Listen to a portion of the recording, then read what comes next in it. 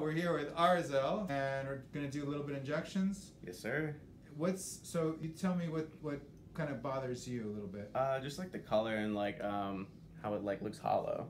under your eyes. Yeah, under my eyes. Yeah. Okay. So we're gonna do a little bit of filler under his eyes, and the thing about it is that here, um, relax. Yeah, relax your mouth, and you can see when his mouth is relaxed, and then drop your chin down a little bit.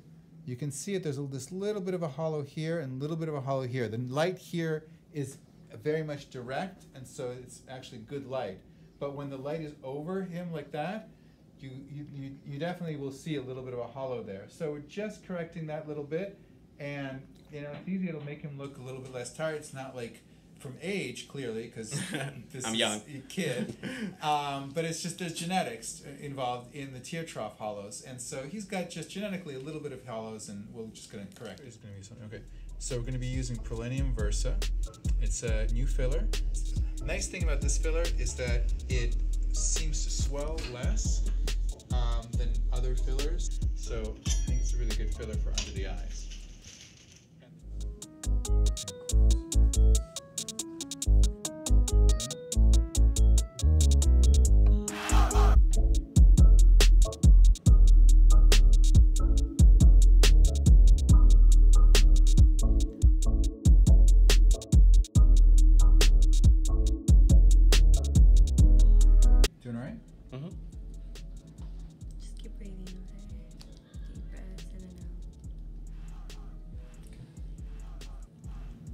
And so under the eyes, it's super critical that the effect is totally smooth.